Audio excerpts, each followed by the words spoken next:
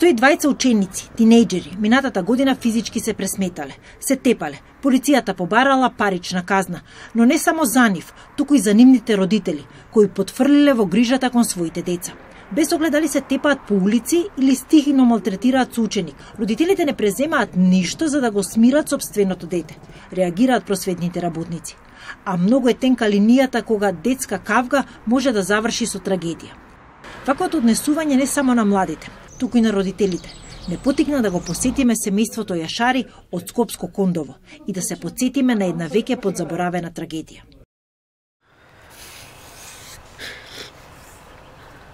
Пред 13 години тинејџерска расправија кулминираше со тепачка, во која Фетије Јашари го изгуби својот син Мухамед Али Јашари.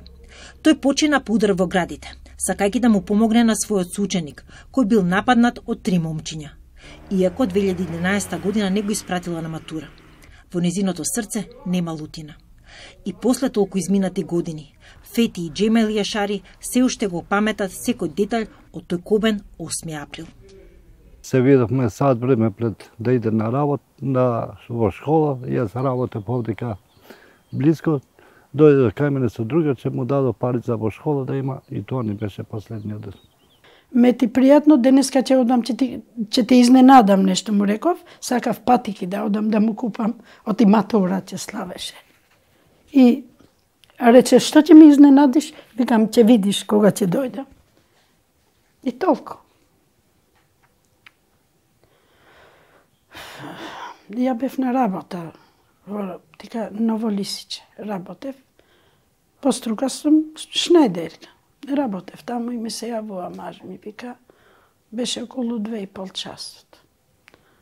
Пред да се пуштам од работа, толку до два и пол работев, ми ми вика, земи еден такси, дојди во болница, се карале негде, во школото на Мети. Ја кога влегов, влегов точно во тоа што беше син ми таму. И му видов раката на син ми дека е спуштена. И од, разбрав дека е мртов И му излего во hodникот, ме ствари видео дека сум мајката и ми истераа надвор да излеза. И го испразнија hodникот. И ја му викам на маж ми, викам, детето не е мртво. Не вика крв барат.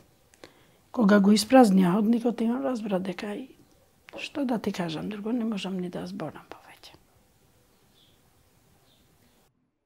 И покрај неизмерната болка, никогаш не зажалила што го воспитала да биде добар – да помогне. Другарчето и сега доаѓа, завчера беше у школа, кога беше осми. Дојде, сега тетка Фетија ме вика, декогаш и мајче ме вика, вика многу сум му благодарен на Мети, пошто од него сум жив уште.